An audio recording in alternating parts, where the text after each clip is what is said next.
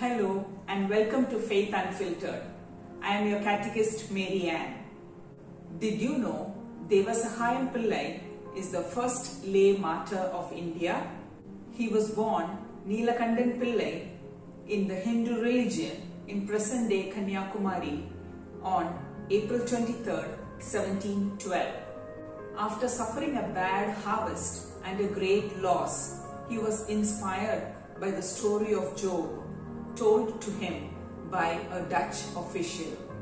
Convinced further on the truths of the Christian faith, he requested baptism at the age of 33. He took up the name Devasahayam, a Tamil translation of Lazarus, which means God has helped. His words at baptism were, and I quote, No one compels me to become a Christian.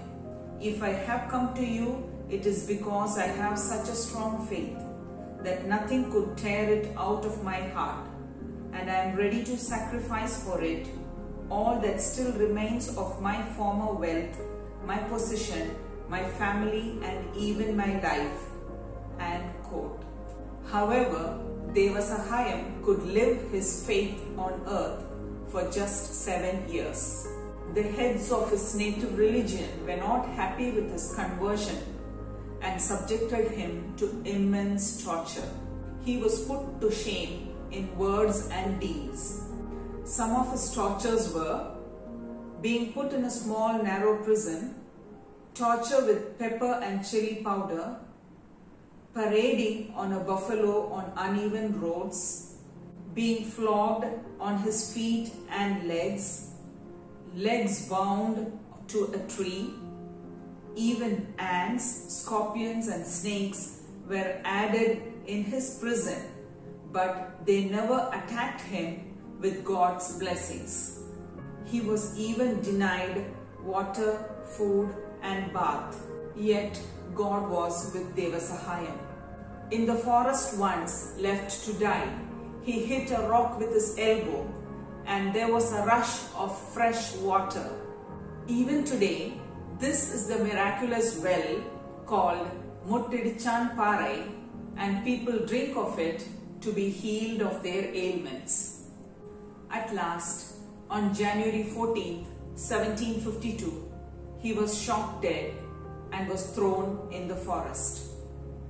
Here is the rock that blessed Devasahayam prayed on before he was shot. He was given quarter of an hour to pray.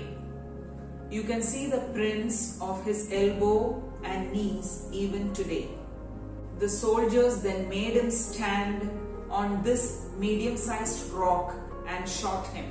After he was shot, he fell down on this rock, which you can see even today. A few villagers found his body after two to three days under the shade of a banyan tree branch and buried him in St. Francis Xavier Church, which is today a cathedral in Nagercoil. His last words were, O Jesus, do not abandon me. Into your hands, O Lord, I commit my spirit. O Blessed Mother Mary, help me.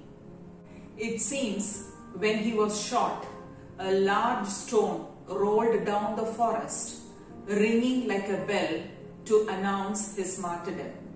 It rings like a bell even today. Let us listen to this bell.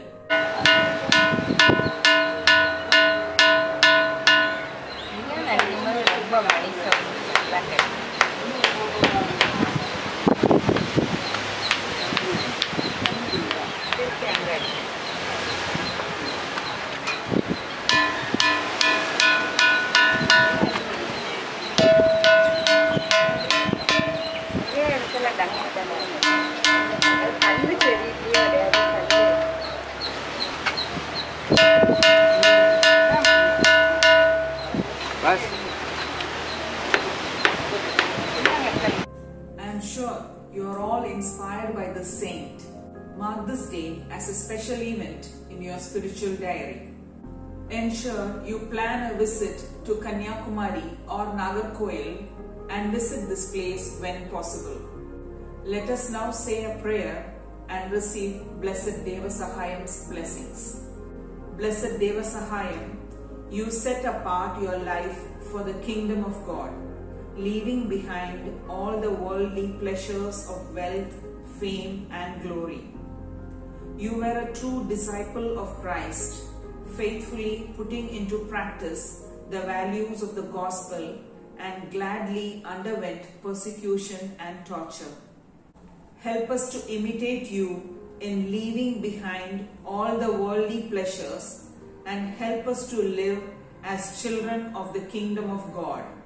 May we live the values of the gospel so that we may one day enter into eternal life to be with God. O blessed Devasahayam, pray and intercede for us. Amen. Bye.